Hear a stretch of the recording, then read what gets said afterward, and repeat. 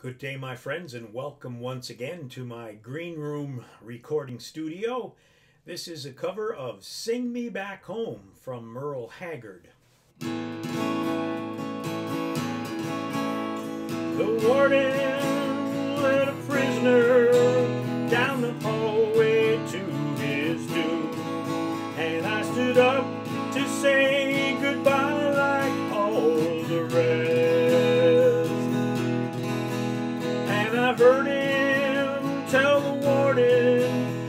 before he reached my cell that my guitar playing friend knew my request.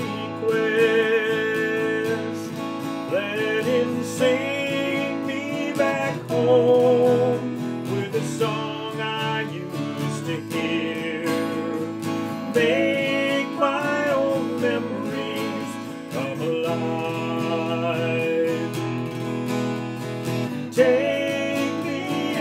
away and turn back the years. Sing me back home before I die. I recall last Sunday morning when a choir came off the street, came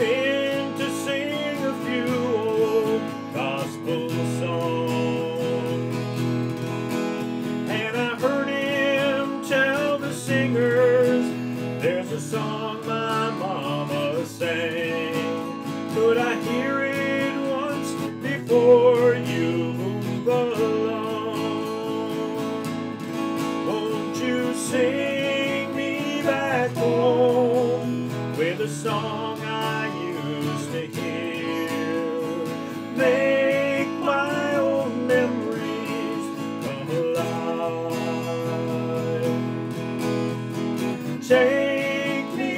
away and turn back the years. Sing me back home before I die. Sing me back home before